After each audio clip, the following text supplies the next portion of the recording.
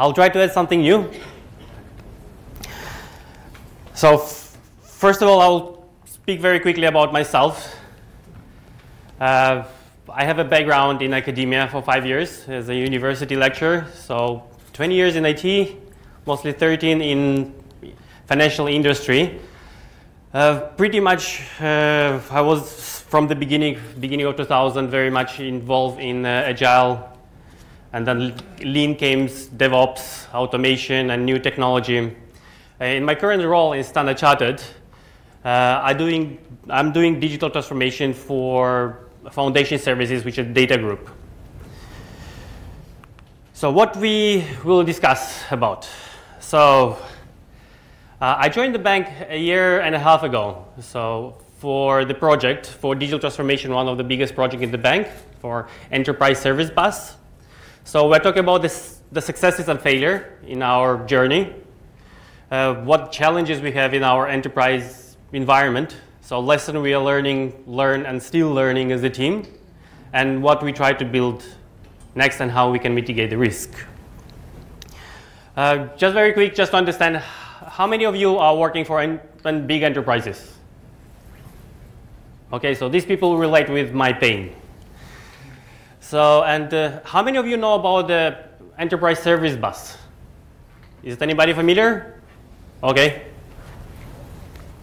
Good. So what is enterprise? For the people who are not familiar with this, so what is enterprise service bus? So as historically, when you start the company, you have one single application. You don't need to talk with any other application. You talk with external clients or it's a website or anything. So once you start, start adding additional application, you need to communicate one-to-one. -one. At some point, your environment start growing, growing and become similar to mesh. And this is in the case only of the six applications. So inside the charter, we have around 3,000. I mean, not all of them need to speak with each other, but many speak. So, and all these applications speak different languages, different protocols, different, uh, some of them can speak JMS, another can speak XML, somebody speak MQ. So it's created a lot of complexity. So, and to solve this kind of the problem, we're moving to enterprise service bus. So it's considered as middleware, where all applications talk with enterprise uh, service bus, and service bus basically talk with another application. Uh, based on this, of the enterprise service bus, it's based on the SOA-oriented architecture. This was very popular like 10 years ago. It's still popular in some enterprises. Uh, now everybody moving to REST with the GraphQL and all the new tech stuff. Uh, but as a bank or many other big enterprises, we're still pretty much stuck with the old, old style. And we're slowly moving to the new, new technology stack. So as an enterprise service bus is doing two things in our case. It's doing the message transformation and message routing. When we say about, when we talk about the message transformation, we're talking about uh, protocol exchange. Uh, from one protocol to another. Some application may send XML, another application can consume JSON. So this enterprise bus basically we translate XML to JSON in this case. When it came to the message routing, again, uh, because application as a standard chartered bank a, across Asia Pacific, it's a global bank, we have different countries. Different countries have different regulations. And again, the enterprise uh, bus must know about each country, what a regulation, where to send information, where not to send. Um, and everything what's related to enterprise service bus, you have basically only two players. You have the consumers of the service and you have the providers of the service. And ESB is somewhere in the middle. So this is a very high level general architecture, how it look like. So the consumer talk with uh, integration services, you have a message broker, and you have integration manager, caching, or management layer, which is talk to the database. So in some cases, you write your audit data into database uh, or any other platform. Um, message broker usually routes the messages. Integration service take functional services, and you have a services basically publish there and do the routing internally as well. So a year and a half ago when I joined the company, so the project already was around three years old. and already mostly implemented, but we identify a lot of problems. Uh, in financial industry, you have a term of the criticality of application. So you have BCP 1, 2, 3, 5, 2, 2 3, 4, 5, up to the 5. So the 5 considered one of most, most critical piece of the software in the bank. In the, so this means uh, it's pretty highly regulated by MAS. So you can have a downtown, uh, downtown. You have a down, you, you may have your application down around for four hours in a year. Everything, any single, uh, any single uh, problem with application will need to be reported to regulators. So, uh, and uh, EDMI, Enterprise Message Bus, is one of these applications. And just to understand the complexity, every time you go to the ATM machine, so you put your credit card or debit card, basically they send the messages through Enterprise Bus. So it will send few messages to different systems, one for iBanking, for example, retail, check your accounts, another will send you risk, just in case if you use your credit card like five minutes ago in, in Cambodia, or now you try to, on, to do the online banking from Singapore, so basically this is a high risk. So this kind of the complexity is there. So that's why is it's very critical. So, and in order to accommodate this criticality and the high availability of application, we, we saw to fix two problems, basically organizational problem and technological problem. Uh, when we arrived, we saw few problems so with the teams. It was classical traditional waterfall model approach on the development, was project-centric delivery, so basically no clear ownership, um, no, pro no program or portfolio governance uh, level, so we didn't have a clear, everything was kept in Excel files. All the services what it publishes. And sometimes you have a multiple version of it, and it was pretty messy. Uh, narrow specialization of the team, even in the development, we have a team who is managing infrastructure, team actually who developing the services, and they've been aligned based on the domain specific level. Uh, then every single delivery, it took around two to four weeks. Even if you have one line change in your code, you'll need to wait around three weeks to deploy it in production, just be because of the paper-heavy deployment. And the team is pretty big. It's around, around 100 people. It's a 70 developers. So it's quite big. Uh, almost no automation, very, very little basic shell scripts automation. Uh, as a factory on organizational side, uh, additionally, the environment, how historically was structured, was uh, very inefficient of use of resources. So even though we had enough capacity to accommodate, uh, all most of the project. Historically, only few projects was using the specific infrastructure, or the more precise of virtual boxes that was used.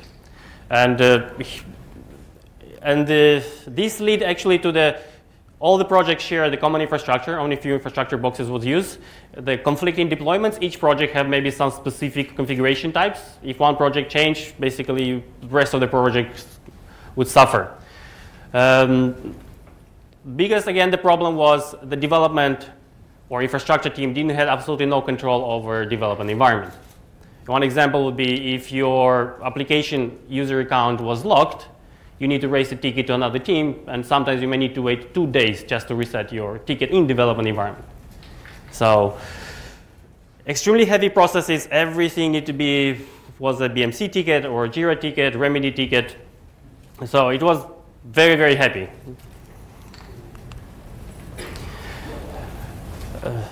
from technology stack side, so we had we, we discovered a few scripts which is more or less running and most of the time didn't. So no automation or provisioning of infrastructure at all because people didn't have a right access. So manual code deployment through the web interface, click, click, click.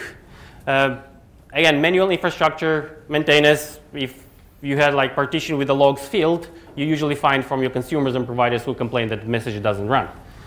So, and then you go, and until you find that actually it's a log created problem or the disk space, right?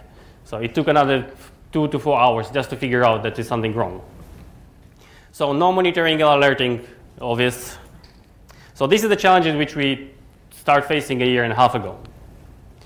Um, this is approximation is a, is a factory model, so only few teams. Each team try to, even you have enough infrastructure, basically they still try to share. And again, it's the reason was behind it because the these virtual boxes had access to the, for example, the firewall was open for external consumers and providers. For example, if you use uh, Google Pay or Apple Pay, Alipay. So usually in order to do the testing with your clients, you need to have access. And once you stuck with this, in, with this infrastructure, you, you don't want to move. So it's great if you don't have any automated model, so it's become very difficult to move to any new, new infrastructure site. Uh, so we had pretty dynamic, difficult uh, problem to solve. So we focused on a few things. We needed a new organizational model. So we couldn't implement any automation if your underlying organization is not strong enough to support you. So all your efforts in automate will fail. So first, what we decided, no manual code deployment from development up to production. So no manual infrastructure maintenance. This means everything will need to be monitored and will be automated, clean up whatever is will re require. Uh, and because of the, uh, it's a vendor-driven application, enterprise is not in-house development, and we usually lagging behind two, three years from development newer version, newer patches. So in any deployment, it's usually take like six to 10 months, a new version, even if it's a minor one. Uh, because of the dependency of the consumers and providers, you need to test everything. Uh, and we decided to look for the new technology stack for the enterprise service bus. Uh, the first thing what we did, we start looking into implementing agile frameworks, agile methodologies. So we start looking into the based on the, on the scale agile frameworks. So because of the size of the team, uh, focus on the product-centric business domain delivery. So we need to have a very clear definition, defined program and delivery levels. For example, we try to to get much more collaboration. Uh, we implemented the Kanban, but not the Scrum. One of the reasons of the Kanban, because of the size of the team and experience with agile frameworks, will be much more easy to implement Kanban than Scrum. So in addition to the type of the work what was done there, it's more linear. Uh, as the teams are involved in the project, they're not self-sustained. They usually depend on the consumers and providers. And the consumers and providers usually manage the pace of the development. So, and Kanban, it was much better suited in, the, in our case than the Scrum. And we start working basically towards the DevOps automated everything as a culture for the team. So this was a very, very hard push from the leads up to the team members who do the coding. Uh, uh we didn't have any any testing framework, so we start developing a testing framework, specs by example, for example, or ATDD.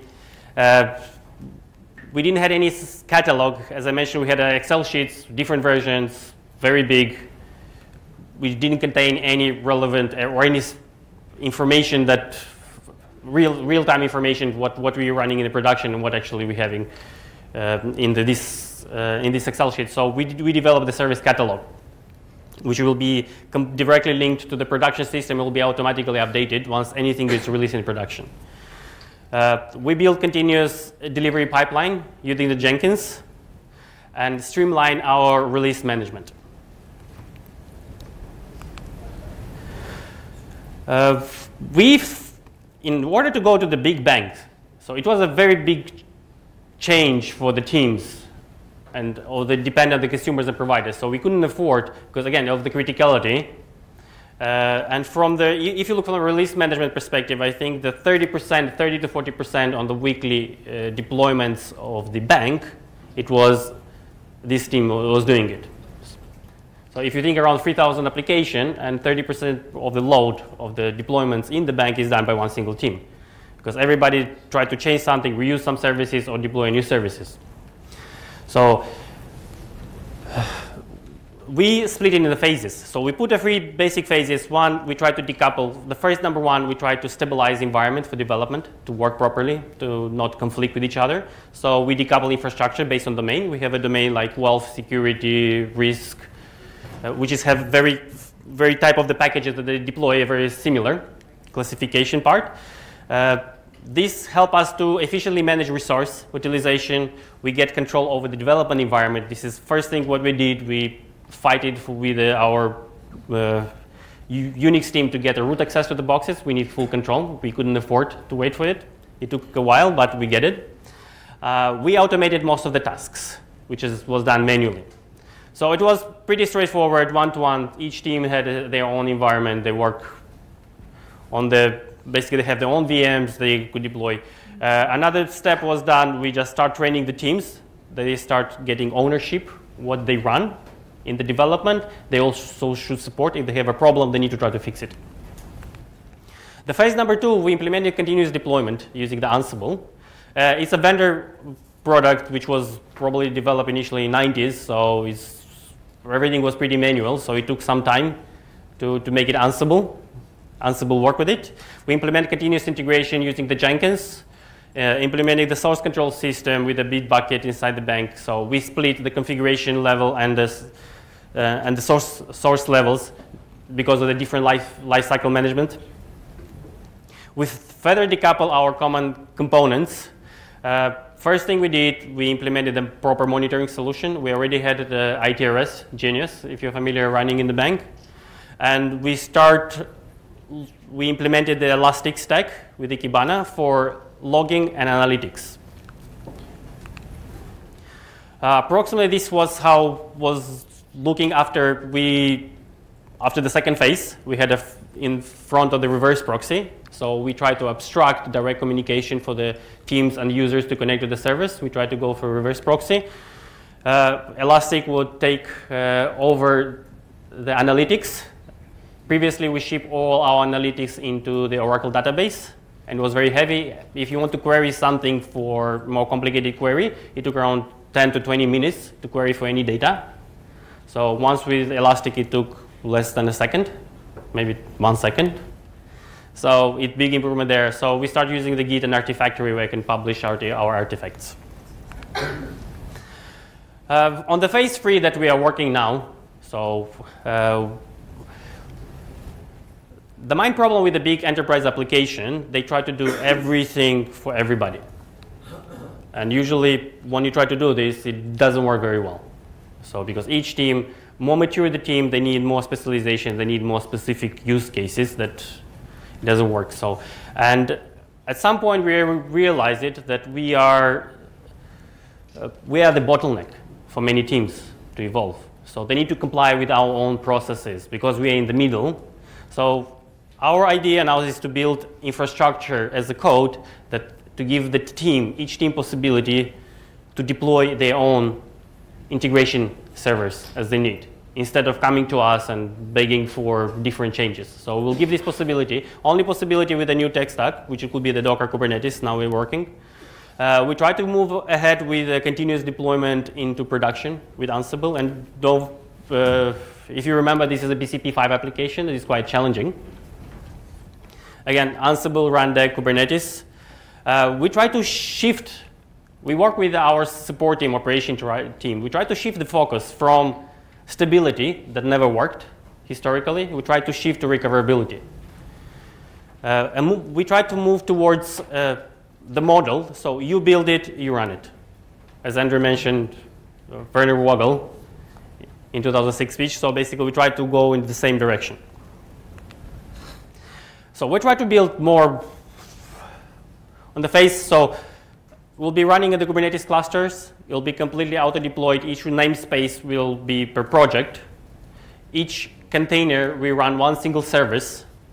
So because the technology of Kubernetes allow us to do the replication model, we can replicate as many as you need in your YAML definition file or replication controller side. It's allow you allow us much more flexibility and reliability. We can do the canary deploys. So or blue-green deployment, we can shift the traffic 30% to make sure one of the environment is stable enough and then can switch the rest of the of the Kubernetes cluster for the specific service. Challenges. So this is was a so we had tons of challenges and still having it, probably will have it. So one of the challenges we face was front to back integration projects I executed using traditional waterfall model. So it's not, we're not talking about anymore uh, enterprise service bus team, we're talking about the consumers and providers. Yeah. So consumers and providers sometimes slow, some consumer could be very fast, but you as fast as your slowest consumer and provider. You cannot go faster. Uh, incremental delivery very challenging. So we try to introduce agile release train model. This should mitigate this part. Uh, again, we have a huge wall between delivery and operation teams. Again, it's a classical. Anything to be done is go for very tedious process of documentation with need to specify every single line. So it's create a lot of headaches. Uh, we try to bring operation in development. Recently, we start working very close with the operation team. Basically, they now become part of the development. So we identify a few champions from the operation team, which we work day-to-day basically with the development, and they, they, they spread knowledge further. Uh, again, we don't have much adequate tooling for the supporting CI/CD. So again, it's uh, manual deployment does take a lot of time. We try to use moving from Ansible now more to the Kubernetes model. Uh, if your infrastructure, you treat it as a pet, Ansible probably will not be the best answer. So Ansible is stateless. We saw few issues during deployment in production. Uh, many things that you assume in your playbooks it will not work if your infrastructure is, it's like you treat it as a pet if you cannot spin it or bootstrap it. So we saw, we had a few issues with, with, uh, with Ansible. So Kubernetes probably will solve us because it's abstract all this complexity. Uh, we didn't have any uh, performance monitoring tools. Now we're looking into a few, few possibilities. Uh, we implemented Elastic Stack in production, so now we're moving to complete audit log. Everything is done in Elastic. Uh, for development environment, uh, very shortly soon, I think maybe next few weeks, we are going into production to complete audit side.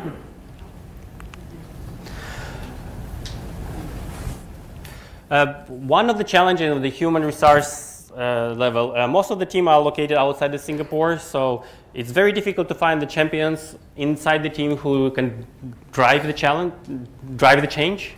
So one of the big challenges, everybody usually is pretty much compliant. You tell them what to do, they will do it. But exactly you need the people who can drive it. So this is one of the challenges. So we try to hire the right people for the job. Budgeting is a big problem as well for us. Uh, if you want to try to be agile or lean in your mindset, so you, you try to decide as, uh, as late as possible. In order to decide as late as possible, you cannot do it with the current enterprise budgets. Because usually how the budget works, in the beginning of the year or in the end of the year, you provision or you think what you will do the next year. And you need to spend as much as possible because just in case, because next year you will not get the money. So, and this has created a lot of problems because you don't know how, what you will build exactly. So you may have some ideas, but, or you do over provisioning or under provisioning. And if you do over provisioning, probably you will get something, but it doesn't make sense anymore because you may change your mind. Or under provisioning, your new option, your, your new technology you may choose may not be covered and become political. Again, another challenge is the vertical organizational structure. So example will be, for example, the support model, development team are all ended up at CIO level. So if you need anything to be done across the team and you don't have authority, only authority person who has a CEO. is a global CEO. So if I want to complain, I need to go up to the higher letter, which probably is not the case. So uh, from the organizational side, we need more of probably horizontal teams who has more power to change.